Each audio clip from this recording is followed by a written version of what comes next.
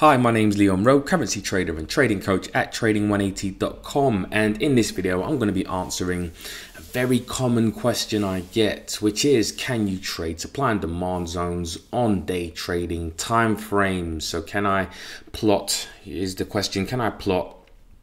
my uh, supply zones on one hour 15 minute five minute you know time frames and will they work and really the answer is drum roll please yes but there is a big but. There are some things that you need to consider um, when looking at intraday timeframes. One of them is pretty much basically the time frame significance. So, um, intraday traders uh, will generally observe um, daily time frame levels, right? And daily time frame traders do not really observe intraday uh, charts and levels because they see it as noise. So you've got to think about the forex market and how much supply and demand goes through or is is is is, uh, is transacted on a on a price chart throughout a certain time frame. So on a daily, it's obviously going to be around you know, uh, a lot more supply and demand is going to go through the market and is printed in the market and is moving the market than, for example, a five minute chart, right? So it's obvious that a daily time frame is going to have way more significance, going to be a lot more powerful when it comes to um, you know plotting the zone and understanding why there was demand or supply there. The markets are also manipulated uh, a lot more manipulated on lower time frames.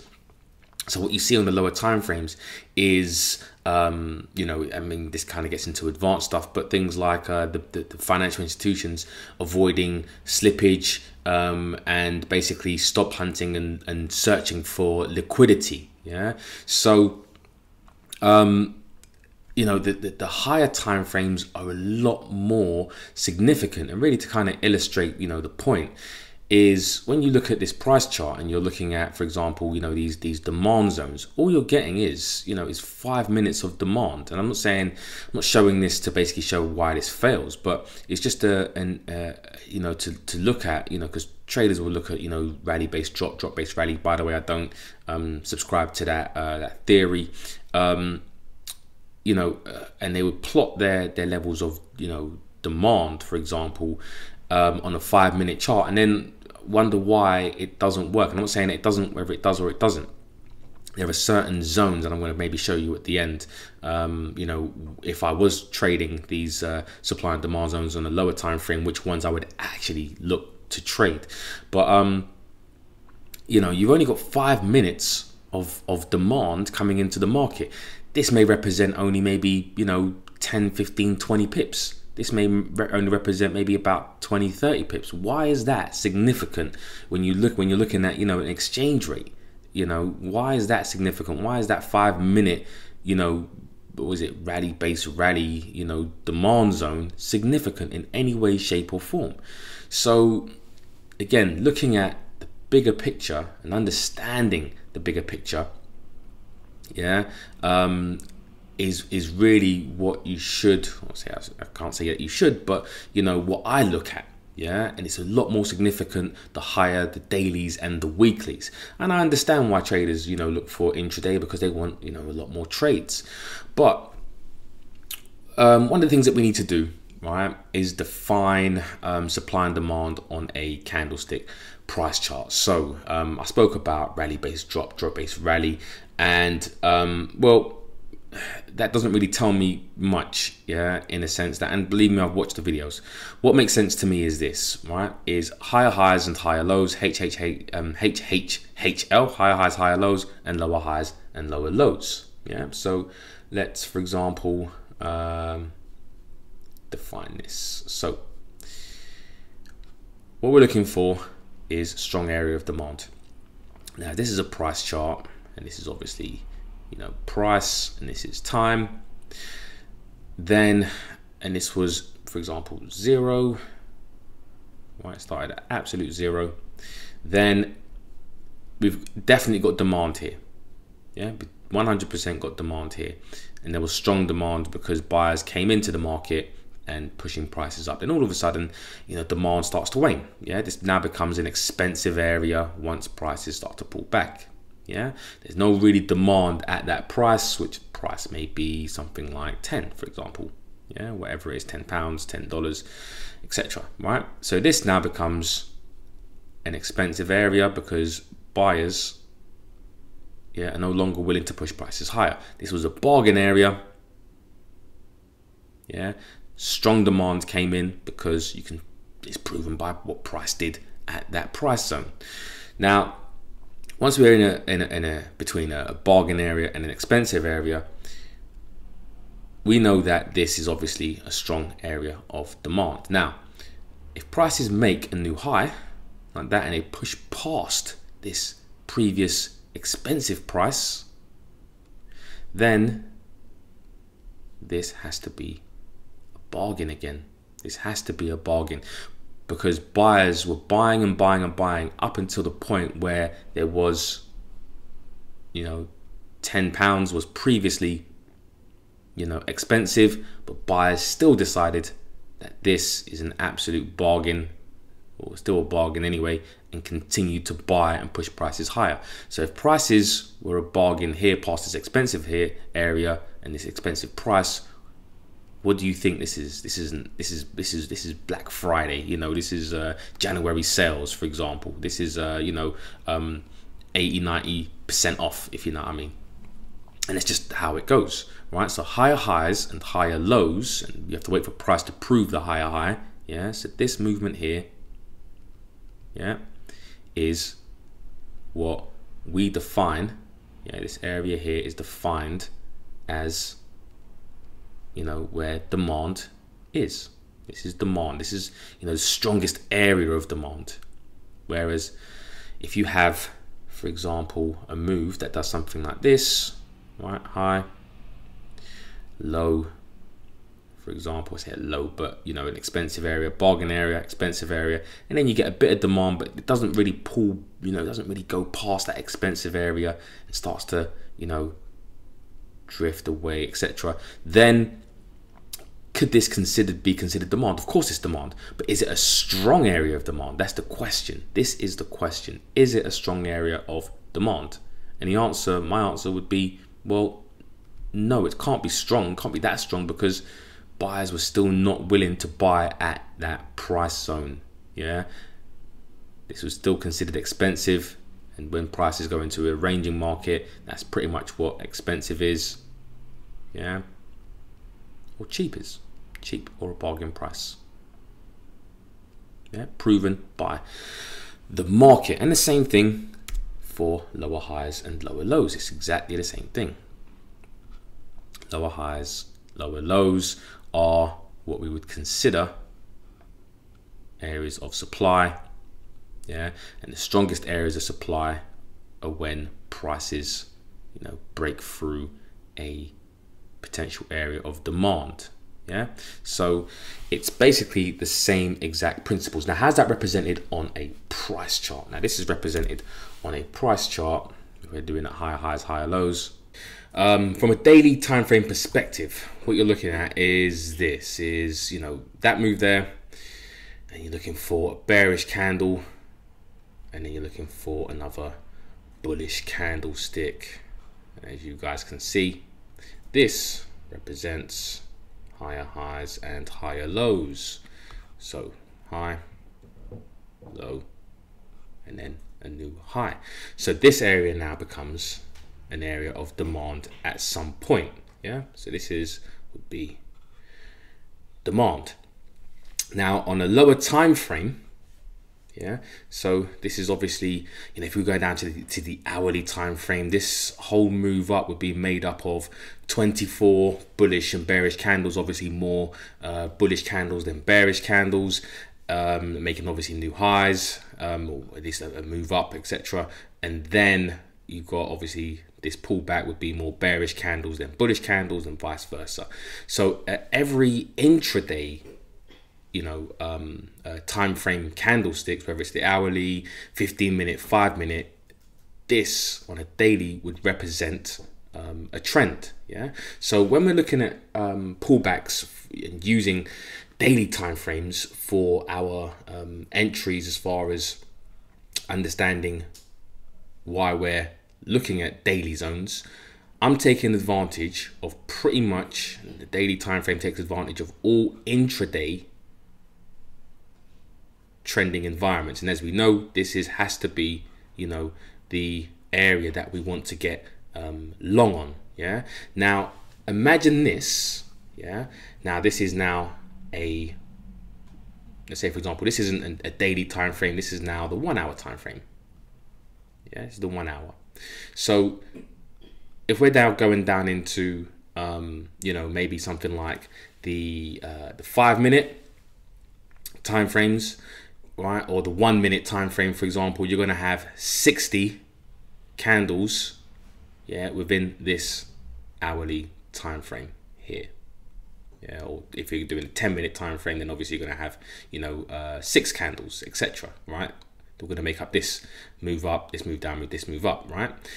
Now again the question you have to ask yourself is is six 10 minute candles yeah? Uh, six 10 minute candles within this hourly time frame enough uh, and six here and oh, sorry yeah and then six here and then six here.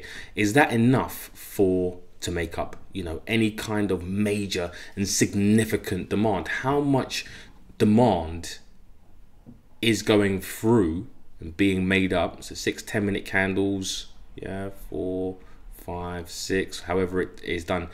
That for me is not significant enough for a trend yeah?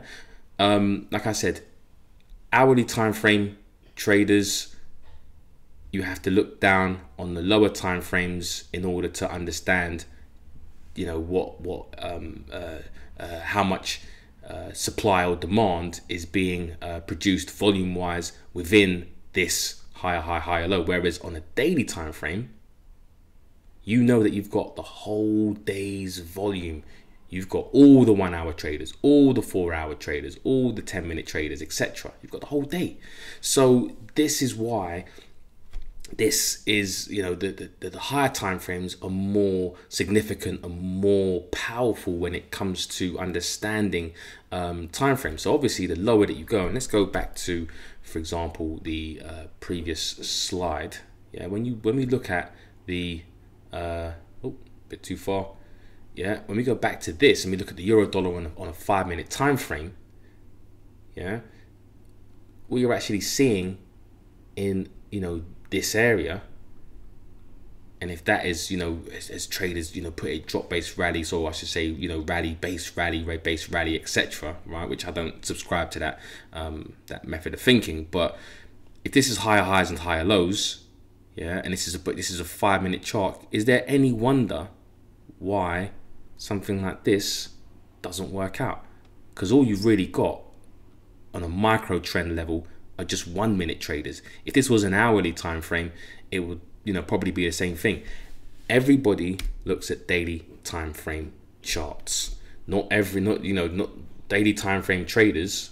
Yeah, uh, are not looking at and weekly time frame traders, the higher time frame traders are not looking at uh, you know the lower time frames. They just look at that as uh, noise and mess, and uh, you're just not going to get the volume that you do. Now, is there a way to trade lower time frames? And if I uh, zones, and if I was trading lower time frame zones, um, this these two um, uh, ways of trading lower time frame zones are the only way that I would. Right, and I'm going to give you guys um, give you guys something to uh, to have a look at. Right, so let's look at, for example, demand zones. So let's go create a demand zone.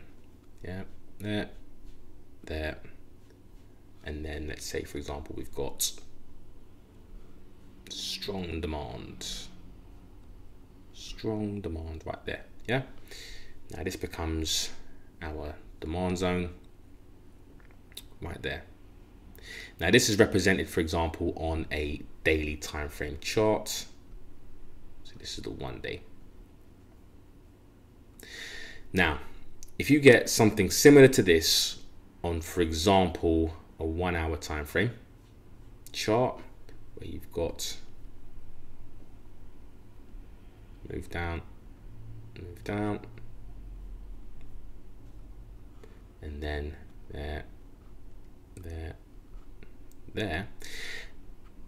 And that obviously is demand. Something similar, doesn't have to necessarily have to be the same. Um, it's rarely the same, but something where you can look to see that there is a demand zone and it's at an area or the lowest area of the daily demand zone and then you zoom in and then you see something like that that creates obviously this whole area here I should say. This this this hourly demand zone yeah and this is the swing low here and this is represents a swing low here. Then I would say that is an area that potentially I would trade if I were trading you know one hour demand zones or even supply zones yeah. It's because the lowest area here I mean remember this this is this is price and time. We're looking at you know understanding price let me uh let's draw it in black yeah? So we've got price here. The strongest area of demand is going to be where? Where traders were buying in such volume that it pushed prices here you know up up up above a previously potentially expensive area. So it only makes sense that, and again, this is being price. If this represents, you know, five, and this represents four, and this represents maybe six, etc. Yeah, where are you? Where is the best, you know, place to buy if prices come back? Are you going to be buying at the top of the zone, or you want to be buying at the bottom of the zone? I'm not saying that prices are always going to reach there because prices don't always reach there, if you know what I mean. But if I were to trade this daily zone as far as you know zoom in and look for hourly zones this hourly zone here would have to be the absolute low of the daily zone. And then I'm looking for hourly zones before looking at obviously prices to come back within that hourly zone and then there because you're buying at potentially the strongest area of demand if you don't want to necessarily because this could represent for example uh, this whole area could represent um, you know 50 pips for example on the daily you know or 100 pips whereas this one hour zone could maybe represent um, you know maybe I don't know 15 pips for example. Yeah? And i know traders like cute entries you know you want smaller risk and, and massive rewards. Uh, like i said i'm not saying that you can't take these zones. I'm, all i'm saying is is that marry it with the um, with with the strongest area within this you know daily demand zone.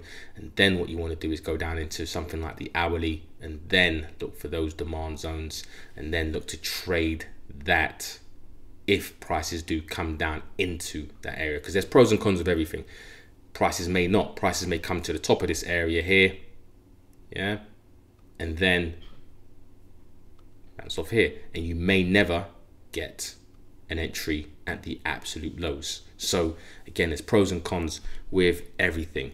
The second thing would be if the hourly zone that you're looking at, or you know, intraday zone, it could be a 15 minute, it could be a 10 minute, five minute if that zone uh, was created by a news event yeah so you're looking at you know say for example this is a 15 minute chart and then you see that the uh, that that the uh, the zone is created and you go back in time and you look at for example forex factory and you think to yourself oh that was uh, that was created by you know some some news that was you know gdp fomc um, jobs report etc right? And you get this created via a massive and, and, and an important and impactful news event then i would trade this zone if i if i look back right? And then I see a demand zone or a supply zone,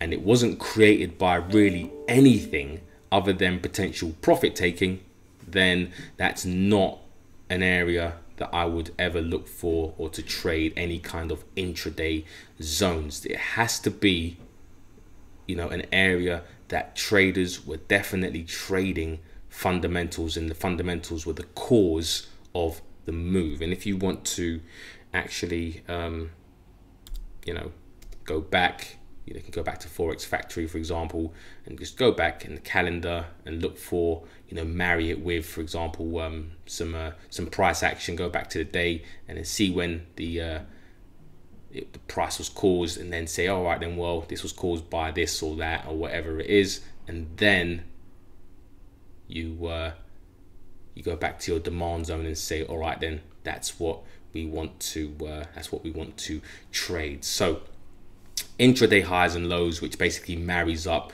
with the daily uh, you know swings and highs and lows if I'm trading any intraday time frames, and uh, also news as well. If there is news that cause that supply or cause that demand zone, then that's where I would be trading any intraday uh, supply and demand zones. So never confuse activity with accomplishment. And what I mean by that is just because you get more trades on a lower time frame doesn't mean that you're going to be accomplishing more than anybody who is taking daily or weekly zones. As we know daily and weekly zones are the most significant and more high probability than your lower time frames so with that being said no one is better than the other but just understand that each one each higher time frame and lower time frame has pros and cons. Higher time frames you may have to wait a little bit more for a trade but you know it's going to be more of a significant zone and obviously on the lower time frames you're going to have supply and demand zones everywhere but you're not, never going to know which one um, is really that significant. And I say never but it's going to be harder to uh, identify the more significant zones where it should be a lot easier now after watching this video. So if you do have any questions uh, just email me at info at trading180.com. Also, as well, um, supply and demand isn't just about technicals, it's about the fundamental analysis um, and uh, understanding value and why the banks trade and identify value and what the reason why the banks trade as they do um, is really an integral part to supply and demand. Um, and if you want to um, watch that course, it's absolutely free. The link is in the description box below. Uh, Trading 180, I think forward slash um, uh, fundamental and sentiment analysis or something like that. Anyway, it's in the, it's in the description box below. Um, all right, guys. Well, take care and uh, until the next video.